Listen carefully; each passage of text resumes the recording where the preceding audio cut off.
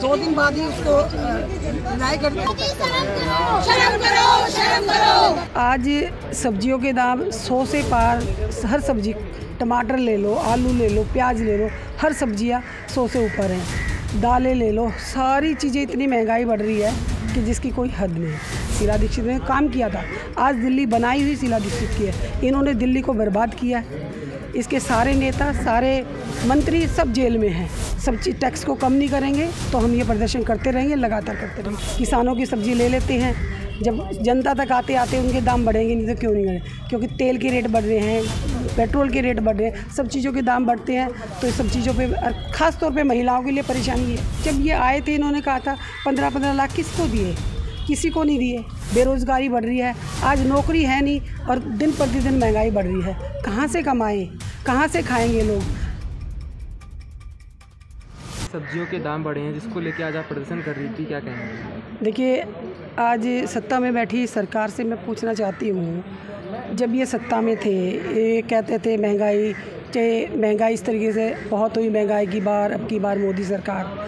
आज सब्जियों के दाम सौ से पार, हर सब्ज़ी, टमाटर ले लो, आलू ले लो, प्याज ले लो, हर सब्ज़ियाँ सौ से ऊपर हैं। दालें ले लो, सारी चीज़ें इतनी महँगाई बढ़ रही है कि जिसकी कोई हद नहीं। आटा, दाल, तेल, यहाँ तक के दूध के भी रेट बढ़ गए। जैसे इलेक्शन ख़त्म हुए, तुरंत दूध के रेट बढ़ गए। हर चीज़ों के रेट बढ़ते जा रहे हैं। तो हमने अभी तो सिर्फ़ संकेतित छोटे सा एक प्रोटेस्ट किया है। अगर ये नहीं मानेंगे तो हम बड़े स्केल पे होगा। और पूरा ज़बरदस्त तरीके से होगा हमारा प्रोटेस्ट और महँगाई को लेके प्लस हमने आम आदमी से जो बिजली के दाम बढ़ रहे हैं, कि जब ये सत्ता में आए थे, केजरीवाल जी बिजली के खंभों पे चढ़ के तार काटते थे, कहते थे, बिजली इतनी महँगी हो रही है, ये, वो, और बही खाता लेके बैठते थे, शीला दीक्षित, आज शीला दीक्षित स्वर्ग में है, वो जेल में है। क्यों? क्योंकि उस, कभी उसके अंदर थी, शीला दीक्षित ने काम किया था। आज दिल्ली बनाई हुई शीला दीक्षित की है। इन्होंने दिल्ली को बर्बाद किया है। इसके सारे नेता, सारे मंत्री सब जेल में हैं। हम सत्ता में बैठे हुए, आम आदमी हो चाहे बीजेपी हो, दोनों पे हमने टारगेट किया है। बच्चों के स्कूल का रिज़ल्ट देख लो कहाँ है। ना शिक्षा, इन आम आदमी की तो ना शिक्षा प्रणाली अच्छी, महँगाई में बुरा हाल, पानी में शुद्धता नहीं, बिजली का बुरा हाल, किसी चीज़ में हर चीज़ में लापरवाही है। आज इनको संकेतित हमने धरना प्रदर्शन किया।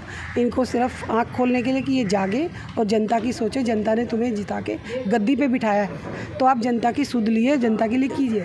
ये सुनने वाले नहीं हम ये जब तक ये मानेंगे नहीं इसको सब चीज़ टैक्स को कम नहीं करेंगे तो हम ये प्रदर्शन करते रहेंगे लगातार करते रहेंगे क्या लगता है कि चुनाव खत्म होने के बाद ही सब्जियों के दाम बढ़ेंगे या मानसून का सीज़न चल रहा है इसलिए सब्जियों के दाम बढ़ेंगे देखिए सब्जियों के दाम जब से इन्होंने मोदी जी ने इनको बड़े बड़े जो इनके अडानी अंबानी हैं, इनको बड़े बड़े गोदाम दिए हैं। तो गोदामों में स्टोर करके रखते हैं, किसानों की सब्ज़ी ले लेते हैं। जब जनता तक आते आते उनके दाम बढ़ेंगे, नहीं तो क्यों नहीं बढ़े क्योंकि तेल के रेट बढ़ रहे हैं, पेट्रोल के रेट बढ़ रहे हैं, सब चीज़ों के दाम बढ़ते हैं। तो इस सब चीज़ों पर ख़ास तौर महिलाओं के लिए परेशानी है। क्योंकि रसोई चलाती हैं घर चलाती हैं उनके लिए सबसे ज़्यादा परेशानी हो जाती है। आप एक महिला हैं कितना इससे असर पड़ता है एक औरत की गृहस्थी पर जिस तरह से सब्जियों में दाम बढ़ रही है महँगाई जिस तरह से लगातार बढ़ती जा रही है। तो हम इसीलिए तो हमने प्रोटेस्ट किया है। हमने किया कि जब सत्ता में बैठी सरकार आँख खोले क्योंकि आज महिलाओं के पास पैसे नहीं। पहले कम से कम एक एक पूंजी अपनी थोड़ी सी जमा करके रखते थे। रसोई के डब्बों में किसी नोटबंदी में वो भी छीन लिया। उसके बाद जीएसटी लगा दी। उसके बाद वन बाय, जब ये आए थे, इन्होंने कहा था, पंद्रह पंद्रह लाख किसको दिए? किसी को नहीं दिए। सिर्फ़ ये ढकोसलेबाजी और जुमलेबाजी नहीं चलेगी। आज सत्ता को मैं, आज जनता को चाहिए कि आज जनता जनता किस कदर, आज महँगाई बढ़ रही है, बेरोज़गारी बढ़ रही है, आज नौकरी है नहीं और दिन प्रतिदिन महँगाई बढ़ रही है। कहाँ से कमाएँ? कहाँ से खाएँगे लोग? आज बच्चों को पालना इतना मुश्किल हो रखा है लोगों को कि इधर देख लो फ़ीस इतनी में जो कह रहे थे पढ़ाई की व्यवस्था बहुत अच्छी की, फ़ीस भी महँगी है। सब चीज़ में ये विफल रही है।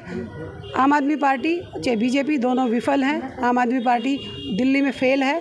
आने वाले चुनाव में जनता इनको दिखा देगी कि इन्होंने क्या किया। ये हर चीज़ में विफल रही है। ये विफलता इनके हार का कारण रहेगा। हमारे साथ लोग जुड़ रहे हैं और जनता जागरूक है और जनता इनको सबक सिखाएगी।